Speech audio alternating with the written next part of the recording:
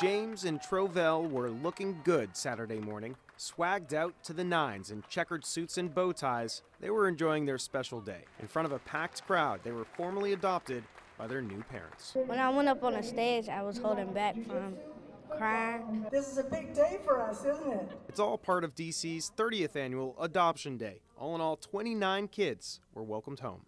I'm just trying to hold back because uh, the tears of joy.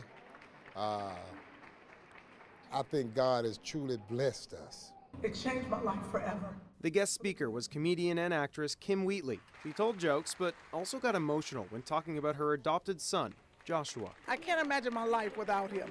Once he came into my life, I was like, what was I doing before I became an adopted mom? More emotions surrounding the Crawford family. 12 year old Destiny was adopted by her grandparents. Remarkably, Linda, the grandma, was adopted as well when she was a child. Now she says the family is complete. I love her. I would I don't know what I'd do without her. In DC, surrounded by happy families, Evan Koslof, WUSA 9.